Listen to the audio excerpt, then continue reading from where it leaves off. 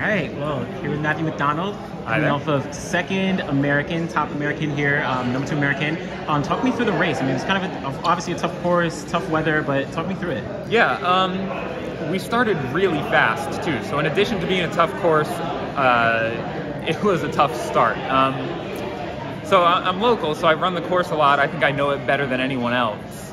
Um, but the the beginning parts of the course are a little unfamiliar because I live more in Boston, um, and it's a lot of downhill, and I sometimes forget that. And we just really got rolling, uh, and we came through the half in just under 64 minutes. So that's nearly a half PR for me. Um, but you know, I, I knew that I was ready to to run that fast, and I could handle that pace, and my legs weren't going to give out. Um, and then, as it always does, at the big downhill at around mile 15 and a half, uh, it opened up, um, and that really split up that group that we were running with, uh, that chase pack. Um, and at that point, I was just going to try and stick on Scott Fauble, but then uh, I was feeling really good on the uphills, and I tried to make some moves to, to maybe drop him on some of the Newton hills, but that man can just fly downhill, and he caught me on every downhill. And then as we went by Boston College, he just opened up a, a insurmountable lead. Um, and then it was a matter of chasing down some guys that uh, probably uh, were just hurting from a combination of the tough course and the weather. Yeah, yeah. And I mean, as you're, what's kind of going through your mind as you know the the pack is starting to break apart a little bit? What's kind of you know going through that mindset? What was going through my mind was this pack needs to break apart sooner because we're going way too fast. And there was a point where I was thinking, do I just let this group go and be a part of the third group? Um, because we did go out much faster than I would have liked to. Um, but I, I looked around at the guys that were in that group and I figured, you know, the defending top American was in that group and there was a good chance that the top American would come from that group again. And so I stuck with it, and I think it probably cost me a little bit of time overall, but place-wise, it was the right move. Yeah, and I mean, you know, 210, that's your second fastest ever, right? Just Yep. behind your PB. I mean, that still should give a little motivation considering all the, you know, the Yeah. fast and everything going on, right? Yeah. Um, I would have liked to have run a PR today, and I thought at the halfway point it was possible. Um, but, you know, the conditions weren't fantastic. The course is really tough. Uh, and, you know, we'll save a, a PR for an easier course. Yeah, yeah, absolutely. And what? How were you feeling kind of coming into the race? Did you feel, like you said, you know, you were going for that PR? Was training kind of going well coming into the race as well? Training was going fantastic. Um, so, like I said, I train here in Boston. I run the course a couple t- parts of the course a couple times a week. The last four miles, um, I run at least once a week. Uh, run the Newton Hills at least once a week. Um, and you know the workouts that we do, we do a lot of hill work on hills that make the Newton Hills look like molehills. So I was confident that we would be able, or I would be able to get up uh, those hills no problem.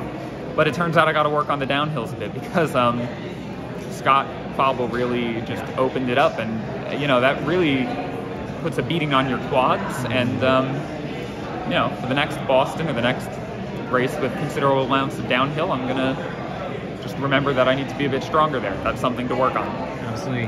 Um, do you know what your next race is going to be? Is it looking towards the fall or is it? Uh, not trials? sure yet. You know, the trials being what ten months away now. There's right like Chicago is probably a, a good bet. New York's cutting it a little close, but you know, I did Chicago last year and it has this habit of being beautiful year like last year and then 75 degrees and humid. Um, so we'll see. Um, I, I don't know what my fall holds yet. Yeah, yeah. And I mean, considering how you're feeling in this race, coming for, you know, you know, just earlier next year when we talk about the trials, being behind uh, Scott Fauble, right, and you know, of, of course, Conner Mantz and CJ was here. You know, a lot of the top guys were here. There's obviously a couple guys who are still missing, but how do you kind of feel, you know, with the trials coming up next year? I feel good, but there's a lot of work to do in the next 10 months. So going to take a vacation first, and then it's time to, to put my head back down, work hard, and um, yeah, you know, there's there's no breaks in this sport. There so, you go. There you go. And just curious in terms of, you know, of course, you had the Kenyans, and of course, you know, um, Kipchoge was coming in. Mm-hmm. Did, did that like kind of change anything in terms of your mindset as you're entering the race? It didn't change anything in terms of my race plan, Mm. but it did. Um, him and I were passing in the hallway at the hotel the other day, and like he gave me just a pat on the back, you know, so I could get out of his way, and I was just like shocked, and I, I didn't know what to. I said thank you, which I'm sure was like the most awkward interaction in the history of two runners. Um, but you know, he's you know the the greatest ever. Even if uh, maybe his Boston performance doesn't show it, right? Who can argue with those world records and those other performances? So obviously, someone I look up to, and um, didn't change my race, but it, it was cool to line up on the, the course with him. Nice. And then this week, get some rest. But I don't know. What are you, what are you going to do to kind of celebrate a little bit, or you know? I'm going to Puerto Rico. Oh yeah. Yeah. Get some sun. You know, I've been here all winter, and Boston is not particularly sunny or warm in the winter.